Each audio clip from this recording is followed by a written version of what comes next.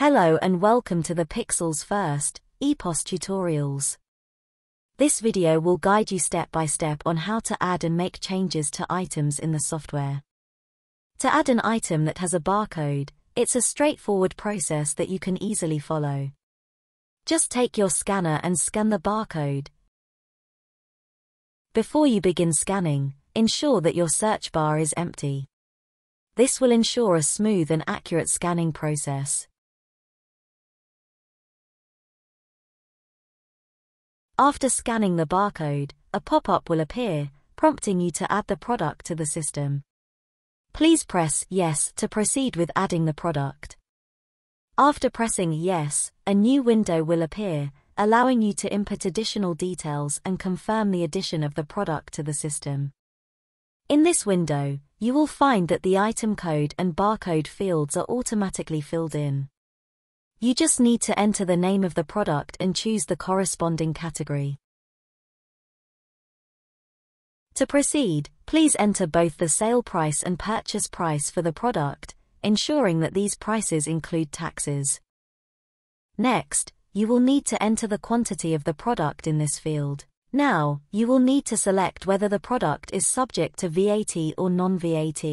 If the product has an expiry date, you can enter the date in this field. Finally, click on the Save button to store the entered information and save the item in the system. Now, if you scan the barcode again, the item will be displayed here. Now, we will provide you with a step-by-step -step guide on how to edit an existing item. To start editing, simply click on the Quick Edit button located at the bottom right corner of the page. Now, you will notice multiple search options available to find your desired product. You can search by barcode, name, choose the search method that suits your preference and proceed with editing the product.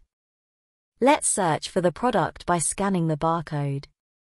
Simply use your scanner to scan the barcode, and the system will automatically locate and display the corresponding product for editing. In this section, you can view and modify all the details of the product. Feel free to make any necessary changes to the information according to your requirements. Once you have completed the editing process, scanning the product will display the updated information reflecting the modifications you made. This allows you to verify that the changes have been successfully applied. Next, we will demonstrate the step-by-step -step procedure for deleting an item using a scanner. For this task, just visit the back office. On the left-hand side, click on the View and Edit button. At this point, you'll be able to view a list of all the items you've added in the software. If you wish to search for a specific item, you have four search options available. Let's use the barcode search. Simply scan the barcode of the item. This is the item you wish to delete. Choose it and then press the delete button. Click Yes. You can now see that the item has been successfully deleted.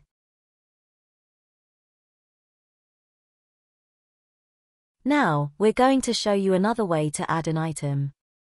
First, go to the back office. Now, look for the Add button on the left-hand side of the screen and click on it. Next, you will see a form. Please make sure to fill in all the necessary details on the form. Step 1. Pick the category that best fits your item. If the item already has a barcode on it, simply use the scanner to scan that barcode. If the product doesn't have a barcode, don't worry.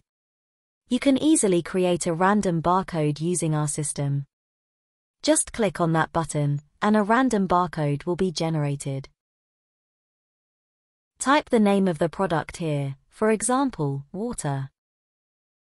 From here, you can choose the unit of measurement for the product. Now, you can choose between VAT or non-VAT for that product. You can now set the sale price for that product. These options are for wholesale dealers. If you don't have a wholesale business, ignore them. Moving forward now, you have the option to include images. You are free to choose any color you prefer. If the product has an expiry date, you can also set it. Here, you need to add the stock quantity as well. You can now enter the maximum and minimum stock levels in this section. Let's say you input the value 200 for the maximum stock level. Furthermore, set the minimum stock level to 10 here. This way, the software will let you know when your stock falls below 10, allowing you to effectively manage your inventory.